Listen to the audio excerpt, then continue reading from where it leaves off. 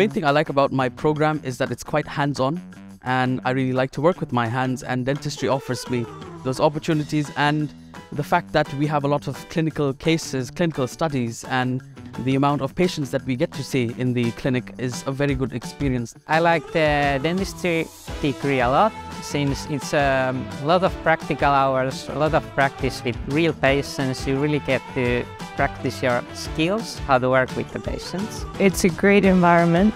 Uh, they get to do a whole bachelor's degree in English. It's a young university with a great quality in technology and research.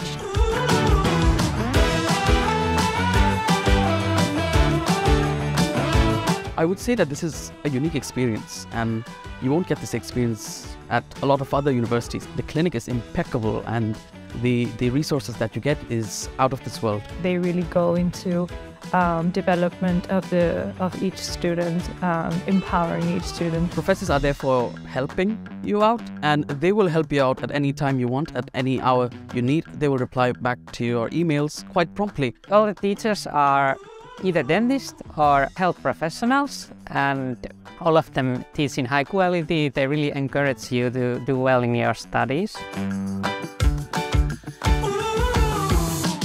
We have a reduced group of students that make us possible to have a more personalized teaching. We know each other for about almost four, four and a half years now. And by the end, you're almost like a family.